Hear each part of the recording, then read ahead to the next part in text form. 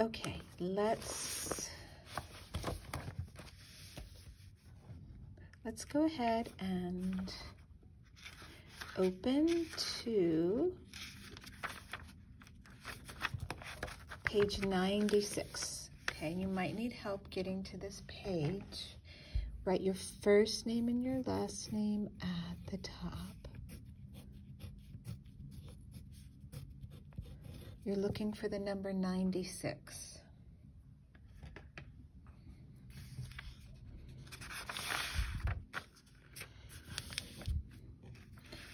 Okay, we're reviewing the letter X. Okay, we're gonna we're going to um, go ahead and code our words and connect them to the pictures. Okay.